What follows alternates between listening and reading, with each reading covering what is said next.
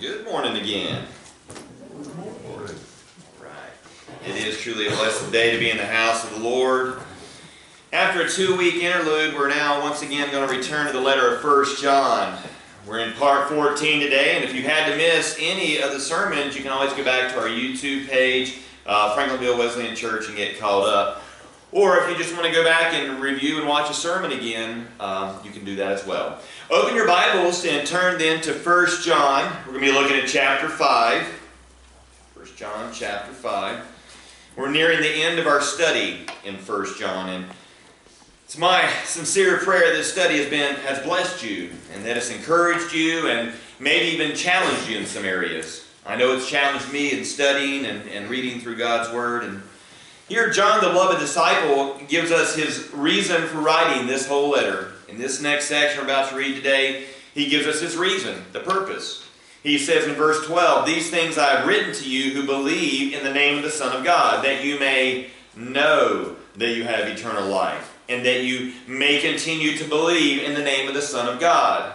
So his purpose, ultimately, yes, was to combat the false teaching and doctrine that was being spread throughout that that culture in that day about Jesus, but more so, he wanted to give us a confidence and to give us an encouragement to persevere amongst much heresy and, and much persecution that was going on.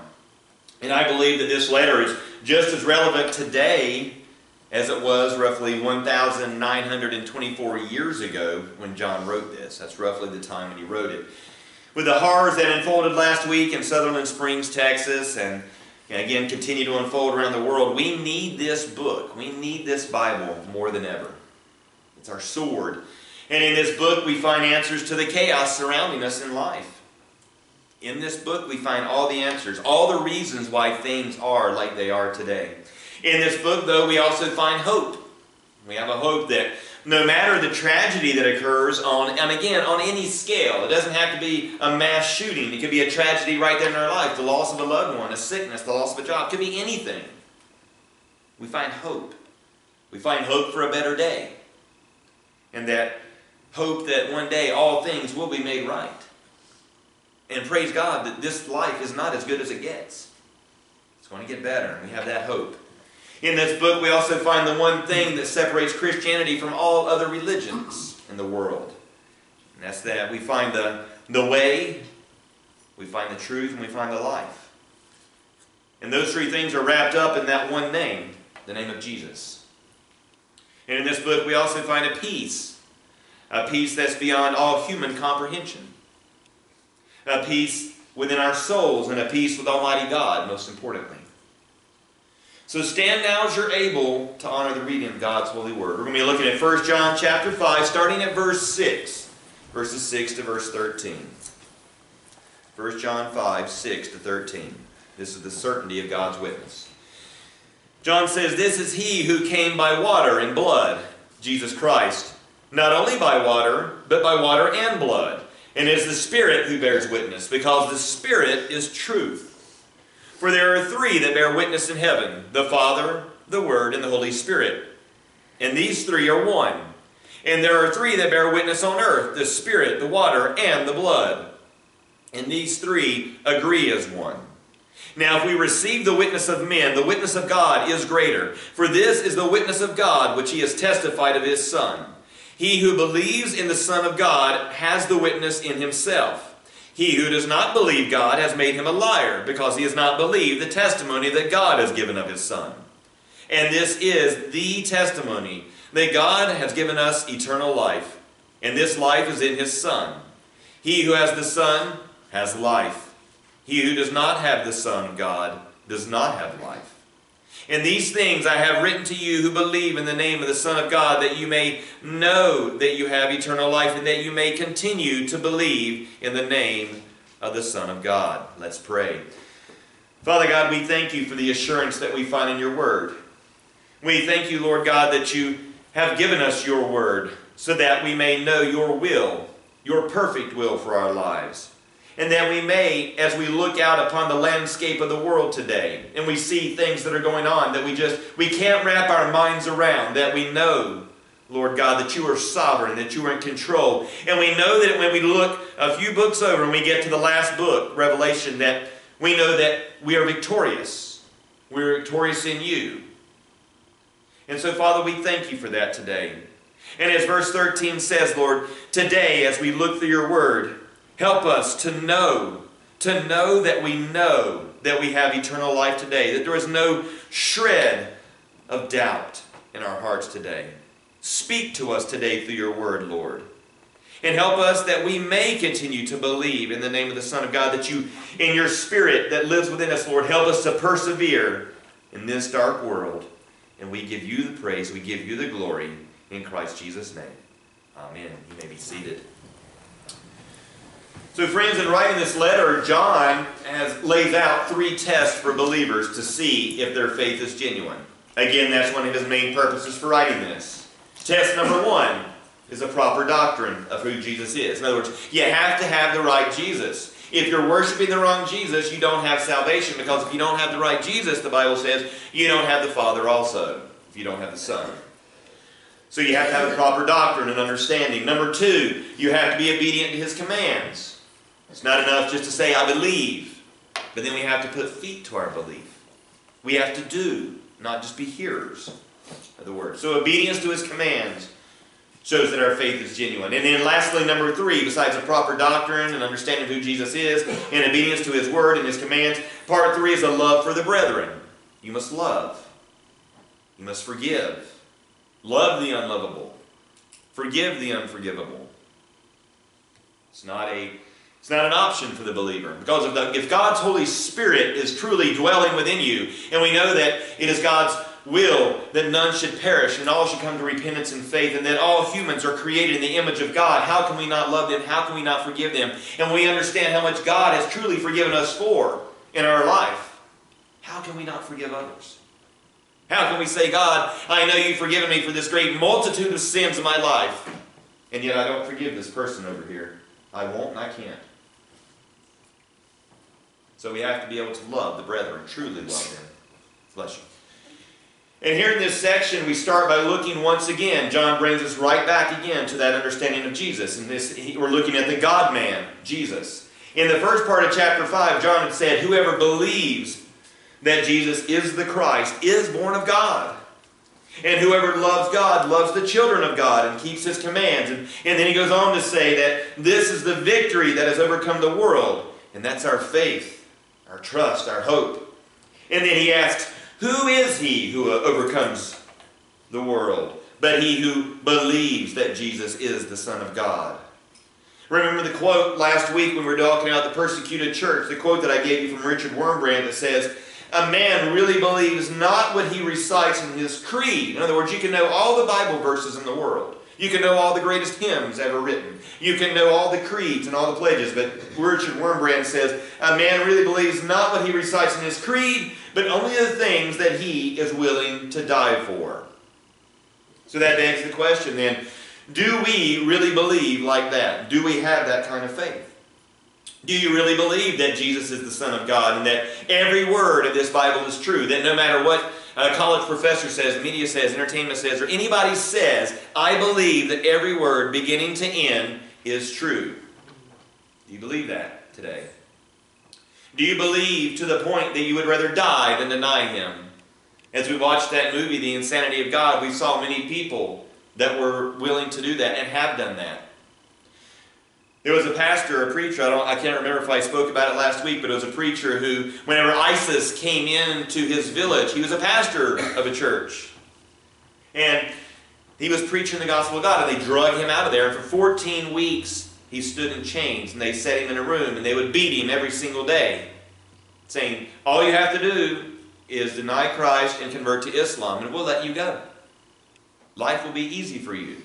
He said, I cannot do it. I cannot deny him. And finally, they got so after 14 weeks of this beating and punishment and, and, torture, they finally came in there one evening with a hammer. And he looked at him while he was in chains, and they smacked him in the mouth, and they knocked one of his teeth out. And so as he's standing there and he's spitting blood out and pieces of his teeth, the man looks at him with that hammer and he shakes it at him. And I'm seeing this interview uh, that I watched with him. He said, the man looked at him and said, Are you going to deny Christ and convert to Islam? He said, No, I cannot deny him. He said, Listen, you have a lot of teeth. I have a hammer, and we have all night. He said, I cannot deny him. And so the man went about systematically knocking out his teeth one by one. And then finally they took him and they threw him out in the street, just tired of dealing with him. Some Christ, local Christians found him, took him to a safe place, and they bandaged up his wounds. And you know what? He's back preaching in that town. Still preaching. So do you believe to the point that you'd rather die than deny him? It'd be easy, you know, to let fear reign in our hearts. It really would. And I praise God that each of you got up today and came to this church today. Because it would be really easy to let fear reign in our hearts and say, you know what, that could have been us. That could have been us. The church, if you watch a little bit of the video they have of, of a prior sermon, they haven't shown the video, praise God, of what happened, but they have. You can go online and watch the pastor's sermons. And um, he had just preached a week before about tribulation and turmoil and things like that. But the church looks a lot like ours. Just a little bitty country church. Could have been us. It'd be easy to let fear reign in our hearts and say, that could have been us. I, am just, I'm not going to go. I don't, I don't want to do that. Little country church. People waking up, ready to fellowship, putting on their, putting on their pants, putting on their shoes, ready to come and hear the Word of God being preached.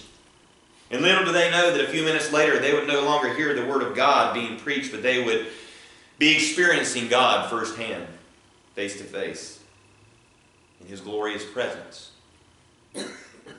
It'd be easy to be afraid and stay home for fear the same could happen to us at any moment. And we can't kid ourselves, it could. But if we truly believe that Jesus is who he says he is, and that every jot, every tittle, every single word of this book is true, then we have nothing to fear. Nothing to fear. For all man can do, Jesus said, is take your life. That's all he can do. All he can do is come in right now and shoot us and kill us. That's it. But even if we are murdered for our faith, praise God, our very next breath will be in the presence of our Lord and our Savior. Where no longer sickness, no longer death, no longer fear, no longer anything can touch us. We will be glorified in His presence. Nothing will be able to ever separate us from His great love. And John in writing his letter. He wants his readers to know this and to be certain of this. Listen to verse 9. He says, if you're looking at verse 9 in your scripture, he says, If we receive the witness of men, in other words, if we trust and accept what a man says, the witness, the testimony of God is greater. And he says, starting in verse 6, This is he who came by water and blood. Jesus Christ. Not only by water, but by water and blood. The water that speak the water here speaks of Christ's baptism and his blood speaks of his death. We're looking at purification and we're looking at sacrifice. But now whenever you read that you may and you hear that you may think, now wait a minute. Jesus being truly God and truly man, he was perfect and he didn't need to be baptized, right? Well, that's correct. He didn't. However, if you go back, and again, we talked about weeks ago how important the Hebrew Scriptures, the Old Testament is, the Torah, right, the book of the law. It was very, the Torah was very implicit that priests must first be purified by the washing of water before they're serving, before they're allowed to serve. It's an outward sign of an inward purification. We get that in Exodus chapter 30, verses 20 to 21. And so Jesus, who's preparing for ministry, he comes on the scene and to keep the law and fulfill all its righteous requirements, because it was required for someone to do that before they go into ministry, uh, he comes to the greatest of all prophets, as he says. I want you to hold your spot in 1 John and turn over to Matthew's Gospel. Let's look at Matthew's Gospel, chapter 3, verses 3 to 13. So again, Matthew chapter 3, verses 3, verses 13 to 15. Matthew 3. I'll give you just a second to get there. So, Matthew chapter 3, verses 13 to 15. It says, Then Jesus came from Galilee to John at the Jordan to be baptized by him. But John tried to prevent him, saying, I need to be baptized by you, and are you coming to me? But Jesus answered and said to him, Permit it to be so now, for thus it is fitting for us to fulfill all righteousness. So he allowed him. So this was done, Jesus' baptism, this was done as a, as a testimony to everyone that was around. remember that we have the whole story. We have the Bible now. We can go back from Genesis to Revelation, we know the whole thing. But they didn't have that. What we're reading now, they were living back then, so they didn't have that. They needed to be witnesses that all the requirements were met.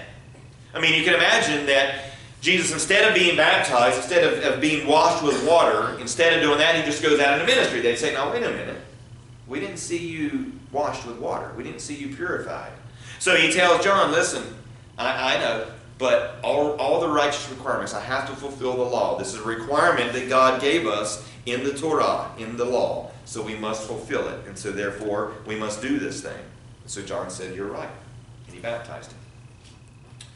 So again, this was done as a testimony. And it goes on to say in 1 John 5 6, and it is the Spirit who bears witness because the Spirit is truth. And this is corroborated back in Matthew 3. Again, if you're still in Matthew 3, look at verses 16 to 17. As soon as Jesus is baptized, it says, When he had been baptized, Jesus came up immediately from the water, and behold, the heavens were opened to him, and he saw the Spirit of God descending like a dove and alighting upon him. And suddenly a voice came from heaven saying, This is my beloved Son, in whom I am well pleased. So here we see the witness of John the Baptist, the mightiest of all the prophets. We see the Holy Spirit coming down and the Father in heaven, all testifying of the Son. But not only that, in John's Gospel account, Jesus says in chapter 8, verses 17 to 18, he says, It is also written in your law, and again the Torah, he says, It is written in your law that the testimony of two men is true. I am one who bears witness of myself, and the Father who sent me bears witness of me. So now when we come to 1 John 5 7, we can understand John's words where he says that there are three that bear witness in heaven the Father, the Word, and the Holy Spirit. And these three are one. Now, I want to kind of rabbit trail for just a second. He says these three are one. Here we have an example of the triune God, the Trinity, the Father, the Son, and the Holy Spirit. Did you know there are many today, not only the cults like Jehovah's Witnesses and Mormons and, and Muslims and them, uh, there are many actual people that preach in Christian churches that actually reject the idea of the Trinity. They reject it. Because they say, you know what, the word Trinity is not in there. Well, neither is the word computer, but we still have computers. So that's true. Trinity, though, is not in there. You won't find it anywhere written in the Bible. However, by the evidence we have in Scripture, we can infer that there is the triune Godhead. And this is one example. It's one example. As again as Jesus' baptism, when we see all three being present. We see the Son, the Holy Spirit comes down, and we hear the Father from heaven. So we see an example of the triune God, the Trinity. Now there's a false teaching out there, because again, remember part of why John is writing this is to come against the Gnostic heresies of the day that were saying that Jesus wasn't really a man. He was just a spirit. That's what they were teaching. So John, part of John's reason for writing this is to fight against uh, improper doctrine, false heresies. And so one of the heresies, one of the false teachings today is known as modalism. Or historically, it was known as Sabellianism. Modalism teaches that the Father, the Son, and the Holy Spirit do not refer to three distinct persons in the Godhead, but to different modes of existence of a single person. In other words, just a single person Modalists believe that in ages past that God manifested himself as the Father. Think about in the Old Testament. But then, during the incarnation of Christ, he manifested himself as the Son. And then later, he manifested himself as the Holy Spirit. One of the key tenets in modalism is the belief that God cannot exist in more than one mode at a time. And so here's where it gets really tricky, though. A modalist will say they do hold a certain form of Trinitarian theology, and that, in other words, while it does proclaim that Jesus Christ is divine, if you ask a modalist, do you believe that Jesus is God? Yes, I do. They'll tell you that. But, however, this is of critical importance. It denies that there, again, they will proclaim the divinity of Jesus, but they deny that there are three distinct persons who make up the Godhead. And again, this is a, of critical importance. You have to believe that. Modalism has long been labeled as a heresy. In other words, from the beginning, when it first came out, people were saying this is a heresy. Don't fall for that. So modalism, again, being labeled as heresy. If you believe this false doctrine, then you would fail one of John's tests. Because remember, one of John's tests is a proper doctrine, a right understanding. And therefore, you could not biblically call yourself a Christian. We define, as Christians, the proper understanding is this. We define the Trinity biblically this way. Number one, there is one God. Number two, the Father is God. Number three, the Son is God. Number four, the Holy Spirit is God. Number five, the Father is not the Son. Number six, the Son is not the Spirit. And number seven, the Spirit is not the Father. So, to summarize, you could say, when you're talking about the Trinity, God eternally exists as three persons Father, Son, and Holy Spirit. And each person is fully God, and there is only one God. God is one in essence and three persons. It's not easy to understand or grasp, and I don't know that we will on this side of the curtain. We just have to have faith and trust. Isaiah chapter 45, verses 22, uh, 21 to 22, prophet Isaiah wrote, There is no other God before me. This is God speaking through the prophet. God says, There is no other God before me, a righteous God and a Savior. There is none besides me. Turn to me and be saved, all the ends of the earth. For I am God, and there is no other. But then looking back at our scripture, John continues in verse 8. He says, And there are three that bear witness on earth, the Spirit, the water, and the blood. And these three agree as one. So the water, as we looked at, was, was witnesses Jesus' entry into his ministry. It was his baptism. The blood is a witness to his sacrificial death and the atonement for our sin. Both of these bear witness to him. And remember, since the beginning, the sacrifice from the beginning, beginning, the, the Garden of Eden, Adam and Eve, since the very beginning, the sacrifice of a living animal, sheep, bulls, lambs, doves, these were all killed, and their blood was offered in substitution for our blood. Because the scripture declares in Ezekiel chapter 18, it says, the soul that sins, it will die. So the fact that you, the proof that you sinned against God will be the fact that one day you will die. If you never sinned against God, you would never die. So Christ's blood was a testament to a new and greater covenant. Again, hold your place in 1 John and turn over to the book of Hebrews. It's only a couple of books back. Hebrews is right before uh, James. Chapter 9, Hebrews chapter 9, starting at verse number 11. Verse 11. This is talking about the blood, the witness of Christ. Give you just a moment to get there. So again, just flip backwards from where you're at, past Peter and James, and then you come to Hebrews. So Hebrews chapter 9, starting at verse 11. But Christ came as high priest of the good things to come, with a greater and more perfect tabernacle, not made with hands, that is not of, his, of this creation. Not with the blood of goats and calves, but by his own blood. He entered the most holy place, once for all, having obtained eternal redemption. For if the blood of bulls and goats and the ashes of a heifer, sprinkling the unclean, sanctifies to the purifying of the flesh, how much more shall the blood of Christ, who through the eternal Spirit offered himself without spot to God, cleanse your consciousness, your conscience from dead works to serve the living God? And for this reason he is the mediator of the new covenant by means of death, for the redemption of the transgressions under the first covenant, that those who are called may receive the promise of the eternal inheritance. For where there is a testament, there must also of necessity be the death of the testator. For a testament is in force after men are dead, since it has no power at all while the testator lives. Therefore, not even the first covenant was dedicated without blood. For when Moses had spoken every precept to all the people according to the law, he took the blood of calves and goats with water, scarlet wool and hyssop, and sprinkled both the book itself and all the people, saying, this is the blood of the covenant which God has, commit, has commanded you. Then likewise he sprinkled with blood both the tabernacle and all the vessels of the ministry. And according to the law, almost all things are purified with blood. And without shedding of blood, there is no remission. So again, the water witnessed Jesus' entry into ministry. The blood was a witness to the sacrificial death and atonement sealing, if you will, a new and greater covenant with God and us. But John also says that the Spirit is a witness. Jesus said in John 16, 8, And when He, the Holy Spirit, has come, He will convict the world of sin and of righteousness and of judgment. Of sin because they do not believe in me, and of righteousness because I go to my Father, and you see me no more. But of judgment because the ruler of this world is judged. And when he, the Spirit of truth, has come, he will guide you into all truth. For he will speak not on his own authority, but whatever he hears, he will speak, and he will tell you the things to come. He will glorify me, for he will take of what is mine and declare it to you. In all things the Father that the Father has are mine. Therefore I said that he will take of mine and declare it to you. So the Holy Spirit is the greatest witness.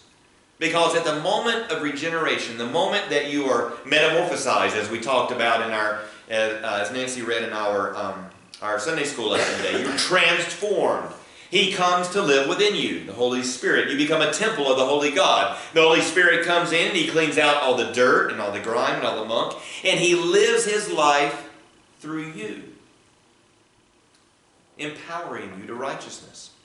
I was speaking to a lady yesterday, and she was telling me how hard it is to forgive, how hard it is to love, how hard it is to live the Christian life. And I would, I would go further than that to say that it's actually impossible to live the Christian life in our own power. We can't do it.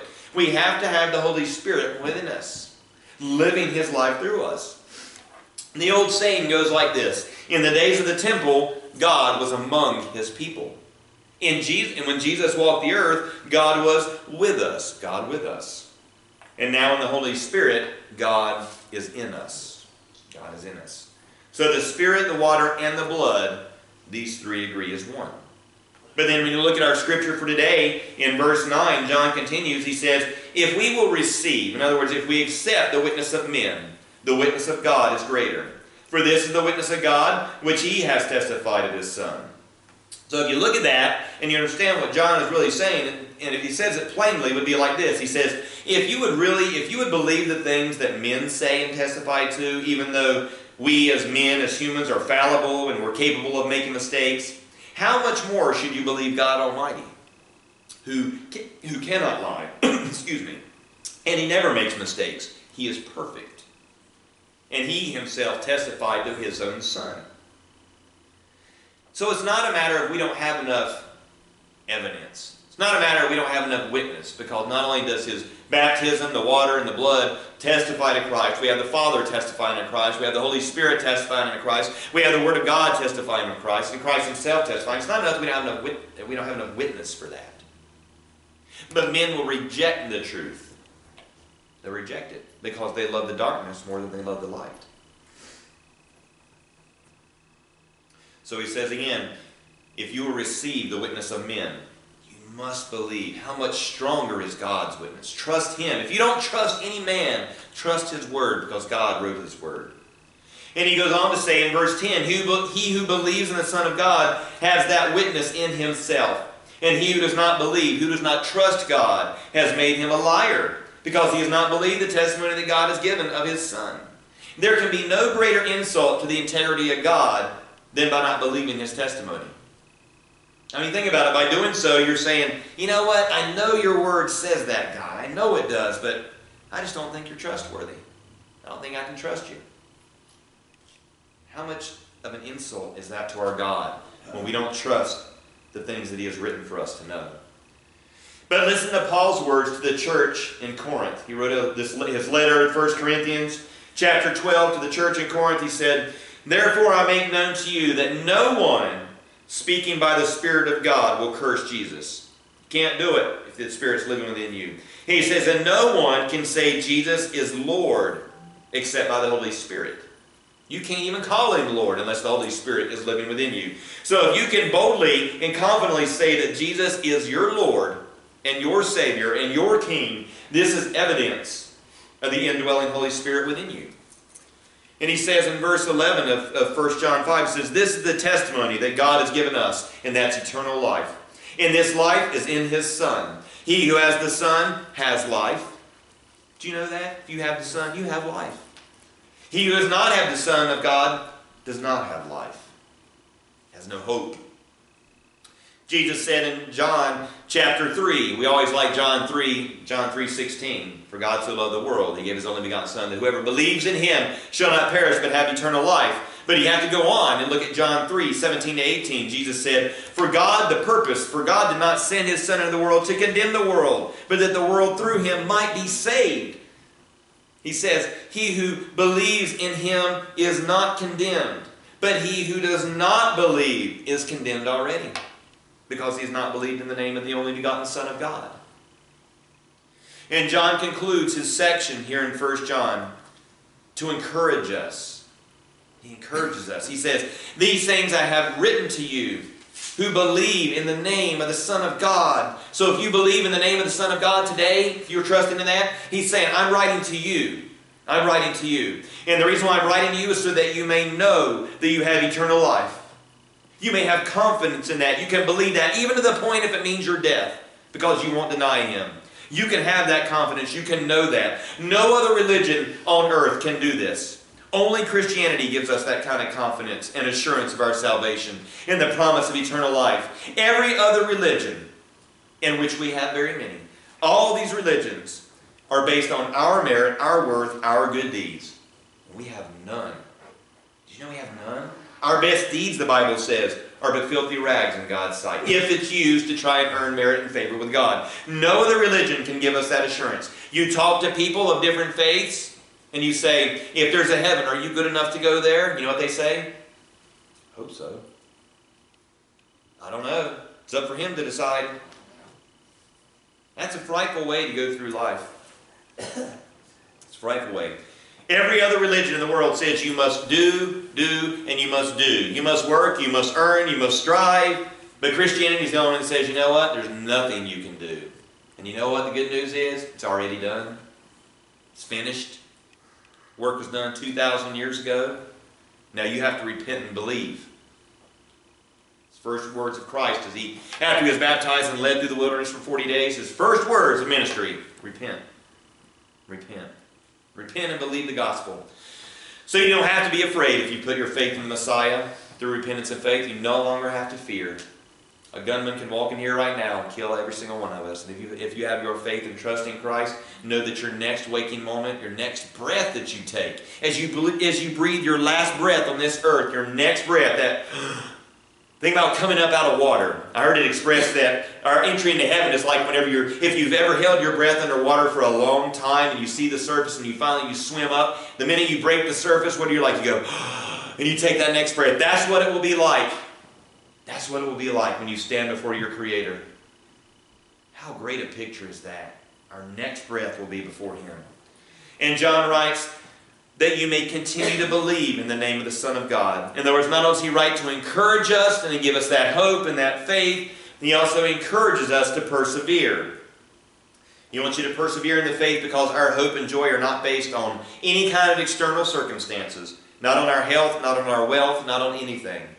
But it's based on the internal living Holy Spirit living within us. If you're a, a new creation, if your life is different than it used to be, if you're truly born again in the faith, then you will know because the I have to's that you used to feel like you had to do become the I want to's. I want to do that. I want to. I want to have faith in God. I want to pray. I want to. I want to go to church. I want to read my Bible. I can't get enough of it. If you have that burning desire within you, remember we talked about what it meant to be a disciple, a true disciple, a me in the Hebrew. If you have that burning desire to be with your Savior, to be like your Savior, to be in the Word of God today, you have hope. You have the Holy Spirit living within you. But again, this promise and this hope and this assurance is only for those who have repented of their sins and placed their faith in the Savior. I had a lady ask me yesterday, she said, But aren't we all God's children? Aren't we all God's children? The answer in the Bible is no. You see, we are all created in the image of God. You've been created in the image of God, therefore you have worth and you are special. However, the Bible says that outside of Christ, outside of salvation, the only thing that remains for you is God's wrath. You're either a child of wrath according to the Scripture or you're a child of God. God has offered a free gift of grace. He holds out His hand. It's free. You don't have to earn it. You cannot earn it. But those are your only two choices.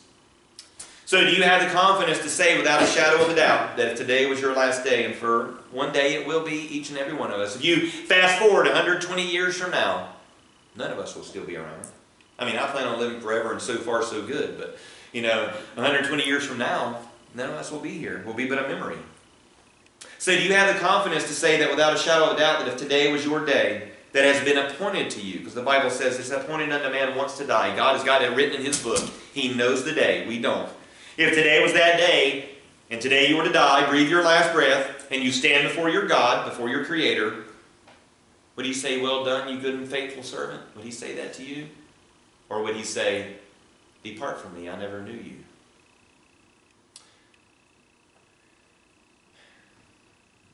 If your answer today is, Well, I don't know, but I hope so. Friends, there's nothing more important than where you will spend eternity. Nothing. Nothing is more important. John says that he wrote this letter so that you would know. He wants you to know that you have eternal life. And so, because he says that, that tells us that we can know. People will tell you, well, you can't know. Yes, you can. Because my Bible says I can. My Bible says if I repent and I trust the Savior, I have eternal life. And I trust God's Word more than what a man will tell me. So you can know. And if you don't know, or if you're not sure, you can. You can know, and it can be today. If you aren't sure, then I want you to come talk to me. We're going to pray in just, just a second, and we're going to sing our final song. And if again, if you're not sure, I want you to come talk to me. We will sit down here. We'll go back to the office. We'll sit wherever you need to. We'll look at what God's Word says together. And we'll stay as long as you want. We'll stay until you know. I want you to know that 150,000 people will die today. Every 24 hours, 125, 150,000 people step into eternity. I don't want you to leave today saying, you know what, I sure hope I make it. I sure hope I do. Because eternity, that's a long time to be wrong. Let's pray. Father God, we come to you, Lord, and we thank you for the assurance that you've given us in your word.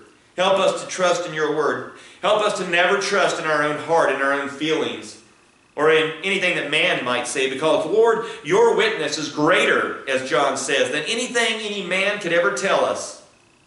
And we put our faith and our trust today in your word. And Father God, I just pray today that if there's anybody here today who says, I don't know if I'm saved, I don't know that if I stood before you today, that you would say, Welcome, you good and faithful servant, but I hope so.